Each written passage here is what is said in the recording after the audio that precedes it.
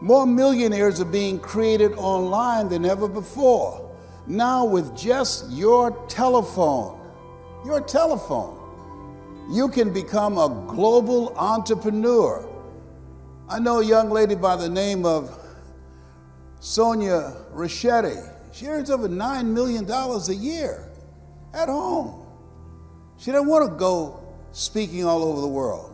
She's been taking care of a.